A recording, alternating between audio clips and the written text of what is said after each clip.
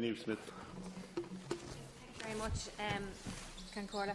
Uh, just really following on from uh, what De Deputy Tobin has just said there, uh, there is the opportunity, and I know, I know, Minister, in fairness, you've been very supportive of the Arts in Education Charter and specifically with the local Arts in Education Partnership. And as you know, in Cavan Monaghan, we had a very good model uh, of that rolling out. And in, terms of what uh, is saying there, there is that opportunity for equality proofing and, of course, getting into the heart of primary school kids uh, and their opportunity to engage and access in arts and cultural activities.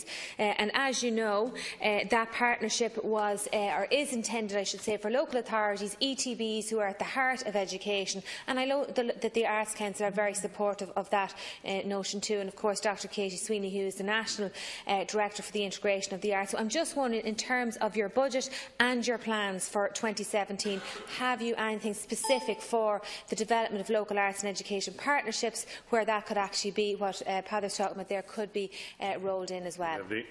Antara. Um, thank you. Uh, well, just, just to say that uh, we have the um, education, uh, the Arts and Education Charter, and uh, we do fund that, uh, and uh, we uh, increased the funding last year. I was able to, to bring it up. I, I just don't have the figure to hand here. So I'm, I'm very committed to it because I think, um, I, I, I, you know, I don't think I know that uh, young children who access the arts and uh, um, you know, get, get the opportunity to get involved in the arts at an early age. And it's about, it's about doing this in the schools. And I think that when you target the schools, uh, that's the best opportunity to, to access all of the children. And uh, I know the Deputy uh, Tobin, you know, children in disadvantaged areas. So we need to get into all the schools. And, and that's, that's the best medium, I believe, to, um, to get young people involved in the arts. And I just have this figure now.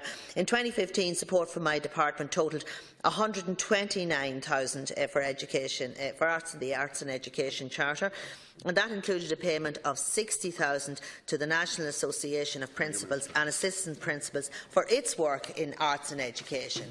Uh, and uh, like there's, the, you know, the Arts Council it contributes funding to a number of organisations as well to assist in the delivery of arts in education projects in schools.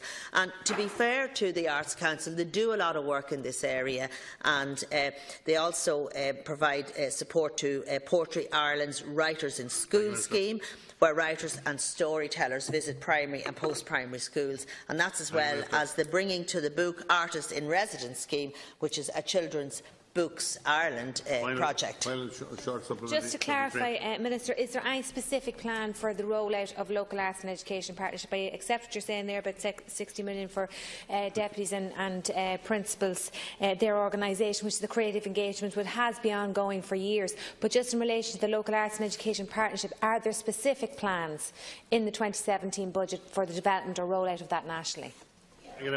Well, reply. Yeah, well, there, there, of course, we continue to work with the Department of Education because there are two departments here, and we'll continue to work on that and to develop the arts and education partnership. And I do believe that we need to, uh, you know, we need to support it more. But it's something that uh, I, I, will certainly, you know, I, am certainly very conscious of, and it's certainly something I will be working on. Thank you, Minister. Question number 11.